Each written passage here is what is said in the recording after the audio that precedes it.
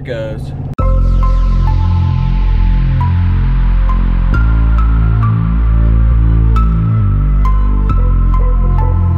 Alrighty, what the heck is up guys? Welcome back to the channel. Hey, if you're new here, do me one favor really quick and hit that subscribe button and join the Modern Diesel family. Today we have something pretty cool. I have never actually showed how to put an EZ Lynk on your truck. So today we're gonna hook the EZ Lynk 2.0 up to my 2017 6.7 Power Stroke F250. It's honestly very, very easy, but this is just gonna be actual video walkthrough how to do it. Let's go. All right, guys, so you just ordered your EZ Lynk 2.0. You got it in the mail, you're ready to hook it up. Um, very simple procedure. This plug here, OBD2 plug, plugs into your OBD2 port on your truck. Um, and you'll see this uh, little logo here in the center light up. Once it is plugged in, you'll know that you have a proper connection.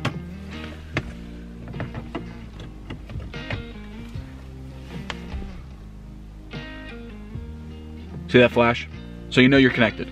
Um, next step would be to download the app on your phone if you have not downloaded it. Um, I have two phones.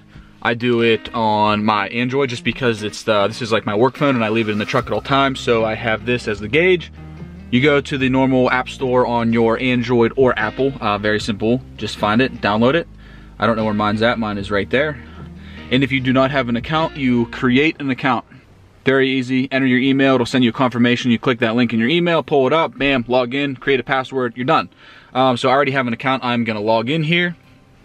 Once you actually log in, you just follow the procedure. EZ Lynk has a very nice um, picture diagram of exactly what to do.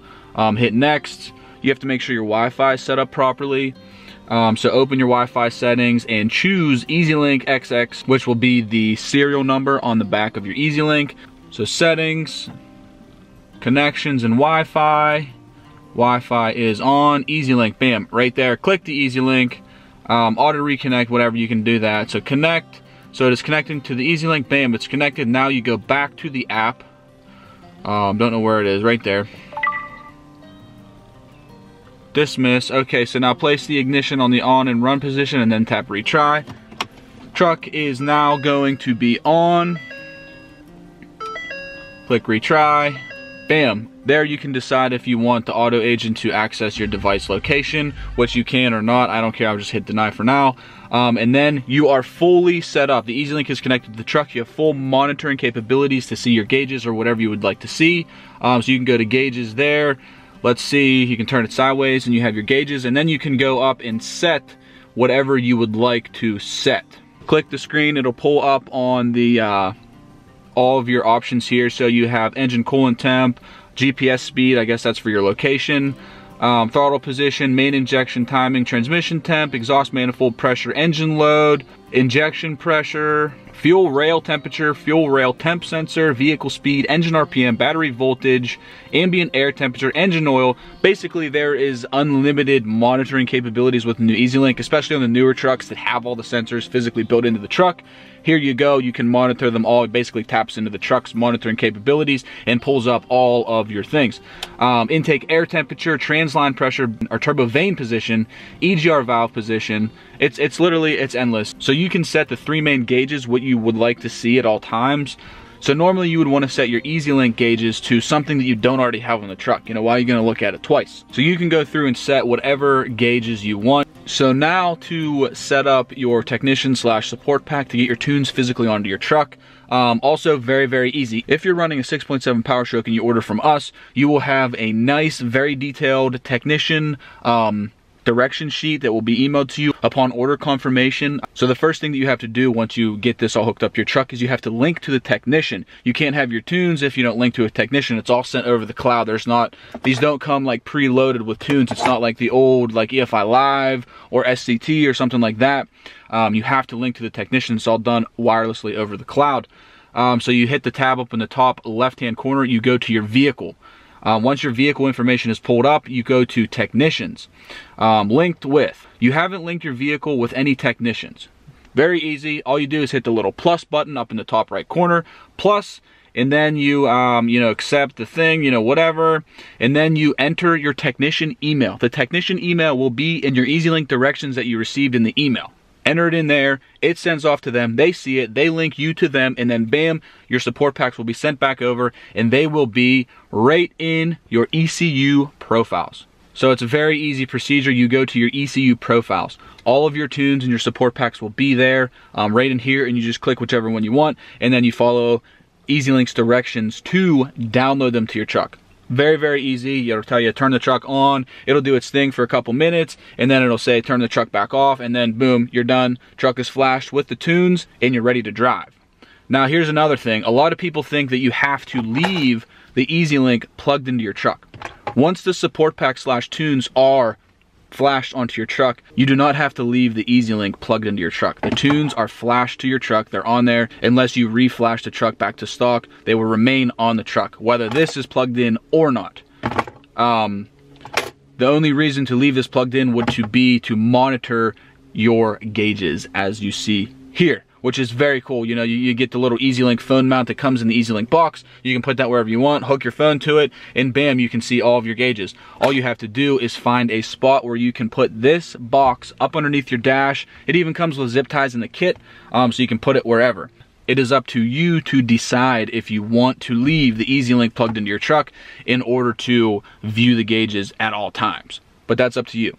But there you go, guys. There is a basic EZ Lynk setup. It's very, very easy. Once you are linked to your technician, your support pack and all your tune files will appear under the ECU profiles. You select your tune level, flash it onto the truck, you're done. It's that simple. EZ Lynk is literally changing the game on the way vehicles are being monitored slash tuned all wirelessly. There's no more, you know, plugging your SD card or plugging the EFI Live uh, AutoCal to your computer drag and drop different tune files and this and that. It's very, very simple. It's all done over an internet connection on your phone. And you are able to do data logs, which is very, very nice wirelessly. So you can go in here, record a data log, and send it to your tuner, to your technician, and they will be able to see exactly what's going on with your vehicle and make adjustments if necessary, and then immediately send it back. So there's no more emailing tune files or anything like that. It's a super cut and dry process that's just very, very easy. So a lot of the times when I talk to people about, you know, what kind of tuner they're running, they say, oh, I'm running the EZ Lynk. And I say, okay, yeah, what, what kind of tunes are you running? Oh, I'm running EZ Lynk tunes.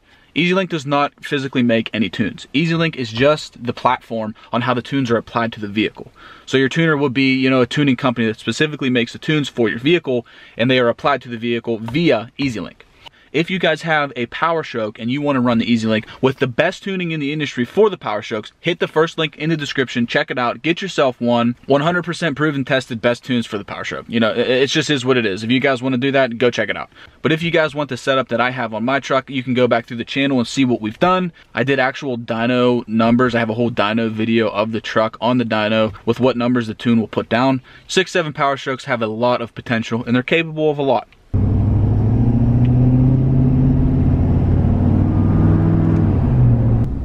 That's it. That's what it looks like there. Let's switch to the graph.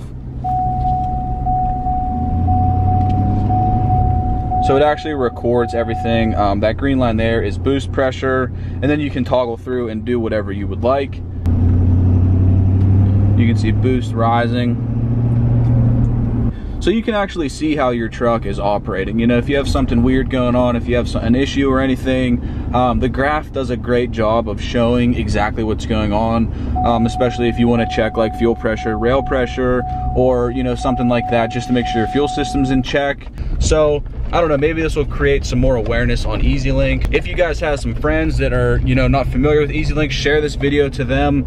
It's just a super basic walkthrough of how to put EZ Lynk on, how it kind of works, what you can monitor, and just kind of an inside look on the whole EZ Lynk situation. Very cool technology, and I just absolutely love it. Hopefully this can uh, help you guys out. All right, so now that we're done with that, I haven't took the Haggard Mercedes for a drive in a while. So let's give her a rip, huh? You want to? Let's see if she'll start. It's been it's been a while. Yeah, buddy. Old Haggard Mercedes. You guys want to do a quick walk around? Let's do a quick walk around. I mean, check this sucker out. This thing is Team Low and Slow. Haggard Mercedes. Yep. Custom patina paint. I mean, you can't go wrong. Who can go wrong with a 1984 Mercedes five-cylinder diesel? hood stack and all. Now, unfortunately, this car is not supported by EZ Lynk. So,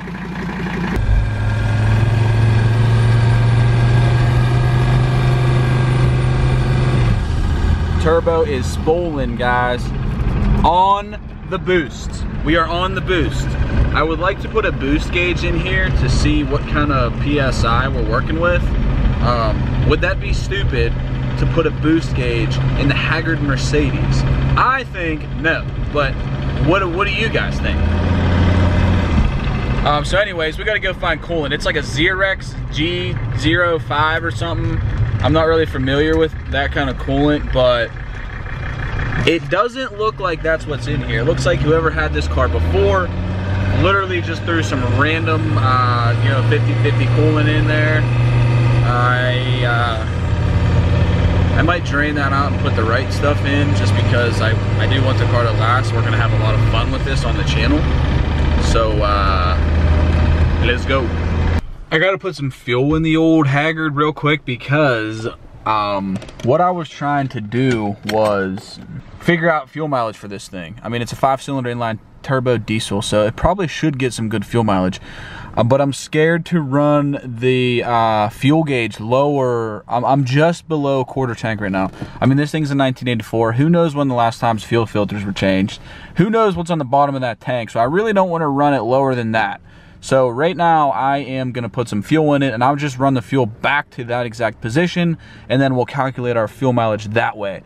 But the, uh, Oh, never mind. I take that back. It works. The the regular odometer right there, um, 331,423 miles, is it doesn't it doesn't seem like it works properly. But I'm gonna use the trip, and then I'll try to use that also. But I'll use both of them that way. I have a backup if one or the other doesn't work. Um, so this is the documentation. Now, how the heck do you reset the trip here? Oh, that's clock. Oh, there you go. Okay, so cool. Trip reset 000 on the trip. All right, I put uh, 10.001 gallons in. So we're gonna see exactly what that gets. Um, I never put fuel in the car before, and uh, good news, it didn't leak. All right, so we got the trip on zero. We got 10 gallons in the tank. Nothing leaks, fuel gauge works. Um, I'll try to do a rough estimate on fuel mileage, but let's go get some uh, coolant.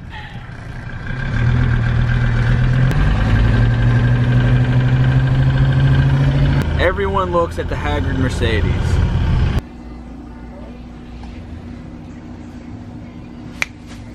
All right, guys, we made it to the house. Um, dude, this car is literally amazing. Like, there's kids running next to it uh, literally like thumbs up. People were smiling and pointing at it and taking pictures. Literally, I drove by a car like younger kids driving. I drove by all of them. There was all, two in the front, two in the back. They're all just like, you know, as I drove by at the stoplight. Dude, this thing is the coolest thing ever. But, you know, good news, we got our coolant, some like Zerex uh, G-05. Um, not a clue what that is or how it works or why this car takes it, but uh, we got it. And I also got some blue valve stem covers. We're official now, boys. All right, so if you guys haven't seen my last upload, um, we are running an open turbo. I was just looking at filters at Advanced. They have them. I don't. I don't know. I, I should have checked the size of this, but I'm probably gonna put a filter on there just so nothing gets sucked in there. But okay, so yeah, the coolant is definitely a smidge low, and I don't know where to fill it up to. But here's an arrow. Okay, see that arrow? But the dang thing is in freaking German, man.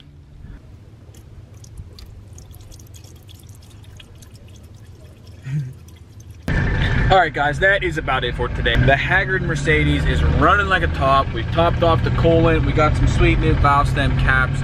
Um, she is breaking necks everywhere we go.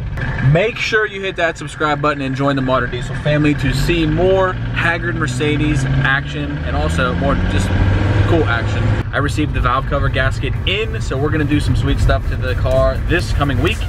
Um, but that is it, guys. As always, I will catch you guys in the next one.